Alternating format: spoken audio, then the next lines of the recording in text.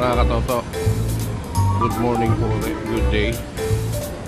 Good afternoon sa lahat. First time ko pong kumain sa mall. Ayan po.